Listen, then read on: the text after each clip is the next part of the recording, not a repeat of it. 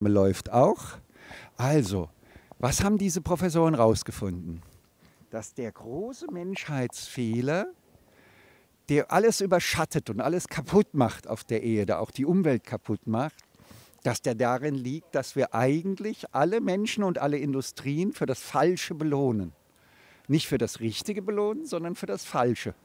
Das heißt, Beispiel, Pharmakonzerne kriegen dann am meisten Geld, wenn ich häufig krank würde kriegen aber keinen Cent dafür, wenn sie mir helfen würden, äh, dass ich seltener krank werde oder bestimmte Krankheiten erst gar nicht kriege. Also für Prävention kriegt keiner was, aber für Behandlung, äh, also quasi entsteht schon fast ein wirtschaftliches Interesse. Ich kann als Konzern nur überleben, wenn die Armee der Kranken immer größer wird, nicht kleiner wird.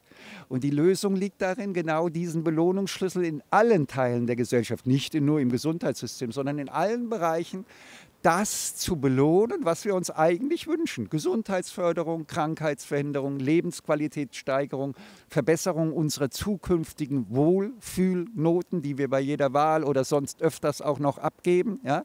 Also die, die, unsere Lebensqualität wird zum Maßstab für alle Gewinnausschüttungen an alle Berufsstände und Industrien und Konzerne. Neuer Gedanke. Was ist Ihr erster Eindruck dazu? Ähm, ja, klingt erstmal sinnvoll. Ähm, diese Belohnung von, sagen wir mal jetzt spezifisch auf das Gesundheitssystem, von Behandlung äh, vorrangig äh, vor der Prävention, das sieht man ja, wie, wie das äh, zum Beispiel in den USA dazu geführt hat, dass, ähm, ähm, dass jetzt eine ähm, Opi also quasi Opi Opioidkrise entstanden ist. Ähm, und ja, wenn da die richtigen Incentives äh, geschaffen werden, um irgendwie so langfristiger auch zu wirtschaften. Und ähm, ja. Das jetzt Ganze würde nachhaltig werden, weil wenn der Lebensmittelhändler in Zukunft, wenn ich da mit meiner Krankenversicherungseinkaufskarte einkaufen gehe, weil es mir nichts ausmacht, dass vielleicht der Bundeswahlleiter am Ende ein paar Daten darüber kriegt, was ich so einkaufe, Gemüse und Obst oder was auch immer, das wäre mir egal, äh, dass das dann beim Bundeswahlleiter vielleicht zusammenläuft, weil wir dem, ich, dem vertraue ich ja auch meine Wahlstimme an und so weiter. Also von daher äh, äh würde ich sagen, äh, wenn dann mein Lebensmittelhändler, weil er Tausende von Leuten mit gesunden Produkten versorgt und sie dazu verführt, eher zu den ges gesunden Sachen, dass er dann am, den Profitzuschlag von, den Krank von meiner Krankenkasse kriegt und von allen anderen da auch dann von der Krankenkasse Gewinnzuschläge kriegt für Gesundheitsförderung, also Teil des Gesundheitswesens wird, dann, dann wird er das Gute tun und dann kriegen wir auch eine gesunde Landwirtschaft, weil er wird natürlich die Landwirtschaft auffordern, umzubauen.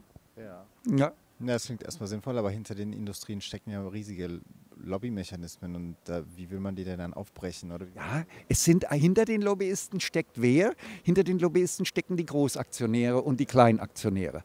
Und da ist der Trick dabei, wenn Sie durch Ges äh, Gesundheitsreform zum Beispiel können Sie jedes Jahr 70 Milliarden einschätzen, so sind die Berechnungen vom Allgemeinen Patientenverband in Deutschland, ein Arzt hat das berechnet. Ja wenn Sie dann noch im Gesundheits-, im Ernährungsbereich auch noch, äh, noch mal 30 Milliarden an Krankheitskosten dann einsparen, weil die Ernährung ja eine große Rolle bei der Krankheitsentstehung steht, das wissen wir heute mittlerweile sehr genau. Und wenn dann äh, sozusagen, natürlich ist es dann so, dass die Pharmaaktionäre erstmal sagen, ja hoppla, das wollen wir blockieren, ja? weil das reduziert unsere Dividenden.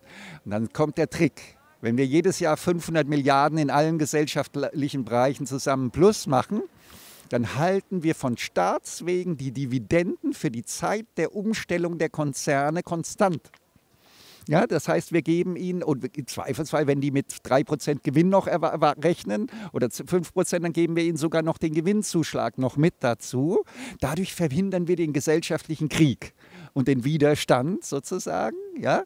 Äh, denn die Lobbyistenarmeen, vielleicht werden sogar Killer geschickt, ne? wenn, wenn es da Ärger gibt. Es darf halt keinen Ärger geben. Es müssen alle mitgenommen werden.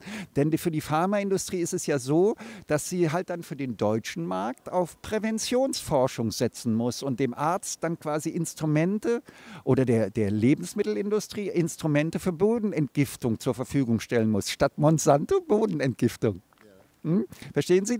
Also man muss die alle mitnehmen, sonst, krieg, sonst geht das nicht. Sonst kriegen Sie einen Bürgerkrieg. äh, quasi ähm, eine andere Art Subvention. Also sprechen Sie davon quasi. In dem Fall wäre es mal eine. Dividenden, quasi Dividenden als Subvention auszahlen, mehr oder weniger. Ja, weil, weil, weil quasi vorübergehend, damit eben da äh, nicht die Aktionäre aufschreien und sagen, ihr enteignet uns ja, mit diesem Reform. Nee, dann sagt nämlich der Aktionär, ja, ich habe ja selber Kinder und Enkelkinder, ich will doch auch, dass die gesund aufwachsen und nicht mehr mit so viel Zucker konfrontiert werden, sondern mit gesunder Ernährung, mit gesundem Gemüse, gesundem Obst und so weiter. Und ja, von daher ja, also ist, leuchtet dieser Grundansatz zuerst mal, ist natürlich schwierig technisch, darüber haben sich die Professoren 51 Jahre Gedanken gemacht, leuchtet aber der Grundansatz ein dieses dritten Systems. Ja, schon, das äh, klingt schon einleuchtend. Dann habe ich zum Schluss nur noch eine Frage, äh, dass, äh, denn Greta Thunberg und Fridays for Future sind im Moment die Promis der Gesellschaft. Ja? Das sind die, und ohne prominent zu sein, kommen die Professoren nicht in die Tagesschau. Ja, das geht einfach nicht. Das haben wir alles versucht. Wir haben alles versucht. Bildzeitung hat über uns berichtet, aber keine Titelseite. Ja, so, so kommen sie nicht in die Tagesschau. Ja. Markus Lanz lässt auch gerne so Leute ein. Nein, das, das, das, da irren Sie sich. Äh, die Redaktionen laden gerne Promis ein. Sie laden gerne Arnold Schwarzenegger ein und Greta Thunberg. Ah, oder Luisa Neubauer aber nicht einen, der nicht prominent ist. Denn der Markus Lanz fürchtet eben, ein, ein nicht prominenter Gast reduziert die Einschaltquote um so und so viel Prozent. Also machen die das nicht. Ne? Also das heißt nur, jetzt stellen Sie sich vor, Greta Thunberg würde nur hier sitzen, ganze Presse um uns rum, und sie würde einen Satz sagen. Wir bleiben natürlich völlig unabhängig von den Scientists for Future 2. Wir verbinden uns mit keiner Organisation. Wir sind wir. Ja? Aber diese Idee, uns 900 Milliarden in Deutschland fürs Klima geben zu können durch eine Komplettreform Deutschlands in Richtung Gesundheit und Lebensqualität, das sollte man doch in jeder Talkshow kontrovers diskutieren. Und wir fangen jetzt an, weltweit mit denen zu diskutieren, auch wenn wir uns mit Scientists for Future nie assoziieren werden. Was meinen Sie, wie dann die Medien-Sache Medien, losginge? Ja, ähm, da müssen Sie halt ein bisschen mehr Marketing betreiben quasi. Deswegen mache ich diese Videos. Sprechen Sie doch jetzt mal zu Fridays for Future Köln, mit denen ich morgen wieder sprechen werde. Geben Sie doch mal denen eine Grußbotschaft. Ist es sinnvoll, wenigstens kontrovers zu diskutieren über dieses neue Modell? Äh, anstatt weiter vom Sozialismus, Kommunismus zu träumen, der aus wissenschaftlicher Sicht unwahrscheinlich erscheint. Welche Empfehlung könnten Sie den Fridays for Future geben? Denn die haben direkt, direkt die Telefonnummer von, von Luisa Neubauer und dann haben die wieder die Telefonnummer von Greta. Ne? Ähm, ja, Diskussion und äh, Konversation ist immer gut.